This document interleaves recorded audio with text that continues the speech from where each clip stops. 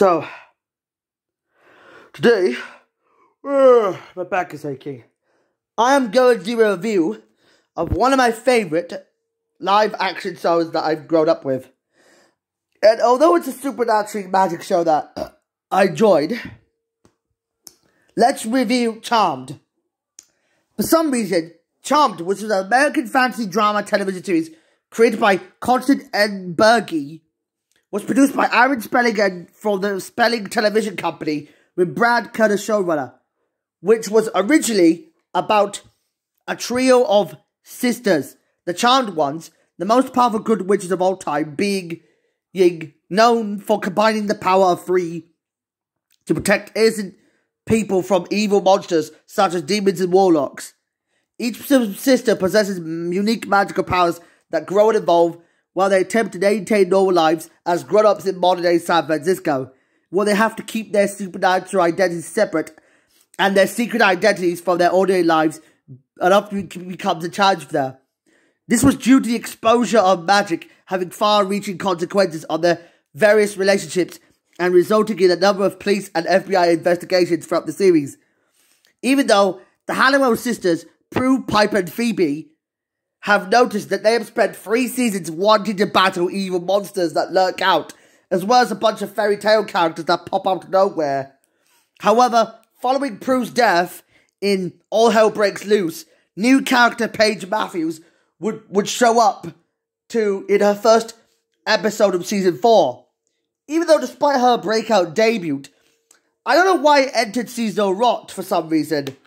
Before its seasonal rot era happened, I had one idea why Charmed was so popular.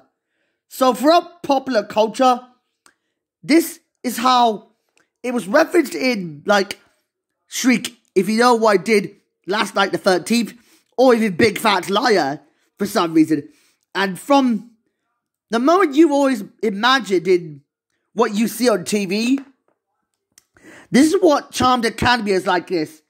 Charmed is basically a spiritual predecessor to the Owl House as I noticed before we had our house, we all knew that Shannen Doherty, Holly Marie Combs, and Alyssa Milano have dedicated their lives being involved in it. Although Rose McGowan, who would appear in season 4, would show up as well. Although it's a rival to Powerpuff Girls, for some reason, I appreciated its theme song. It's kind of unique, and there's one hidden Easter egg of what you can imagine. In the first episode of Honeymoon's Over, they brought us Barenaked Ladies for the first time ever. I enjoyed this episode when this happened at the end of that this episode. Despite this, I probably knew that this show had a tough run throughout its luck. I know throughout the whole show, things would have to fall apart when it comes to some consequences being flipped in the wrong direction. We're a total of 8 seasons of 180 episodes, I'd say this show got put on thin ice because of the splitting of both Viacom and CBS into separate entities, courtesy of National Amusements charging for some reason. Yeah, we end up getting a reboot series that would star Jenny's, that would star Madeleine Mantock, Melonie Diaz, and Sarah Jeffery, as well as Rupert Evans. For some reason, Macy, Mel, and Maggie discover that they are the charmed ones who are good witches destined to protect innocent lives from demons and dark forces because they all have their separate magical powers. They are known to be stronger together whenever they defeat their enemies. Even though White Whitelighter Henry Greenwood is an advisor who is their adopted father for some reason, he protectively guides them to set things right. Although if they had a chance to see the first white witches to represent a women of color within the LGBT representation, this show ran from probably around 2018 to 2022. Like its original series ran from 1998 to 2006.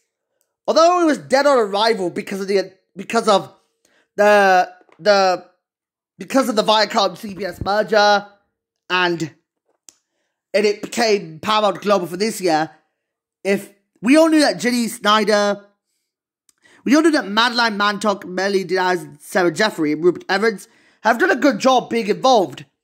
Although Holly Marie Combs and Alyssa Milano have both criticised the decision to reboot the series for no reason, without having any returning characters for the original cast, they realised they cut it short into four seasons and 72 episodes. Despite this, let me fix the situation. The situation of having 72 episodes. Let's try 180 plus 72 equals a total of 252 episodes. Thanks to that, I'd say I got a good idea to think of it. 7 point...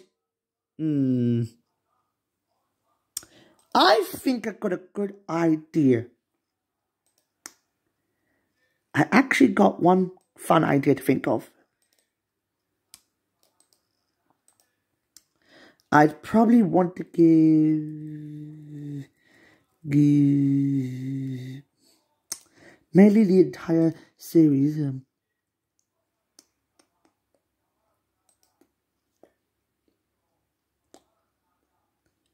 ah, there you go. I'd give Charmed like a solidly decent 7.1 out of 10. Despite some quick thinking of sort of the whole kangaroo court aspect to it.